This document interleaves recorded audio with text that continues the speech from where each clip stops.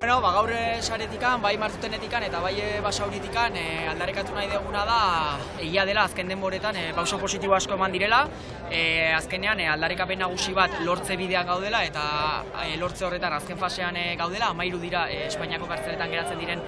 presoak, baina e, garbi adierazi nahi dugu ba, bigarren fase honetan, ba, etxeratze prozesu horretan e, etengabe oztopoak aurkitzen ari direla euskal presoak eta salbuespenezko legedi hori aurkitzen ari direla pausoz pauso, ez? E, bigarren graduan daude preso guztiak, baina egun da mairu beharko lukete irugarren graduan, eta soilik hogeita mairu daude irugarren graduan, eta gaina azpimarratu nahi dugu entzutegi nazionalaren e, fiskaliaren jarrera, e, irugarren gradua eman da ere, e, sistematikoki errekurritu egiten dute, eta errekurso horietan ja e, ikusi dugun bezala preso batzuk e, erregresioa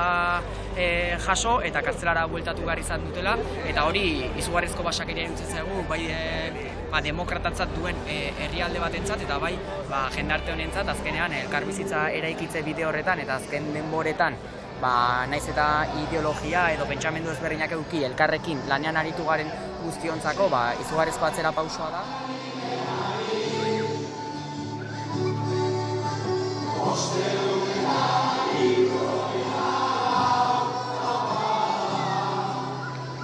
Yeah.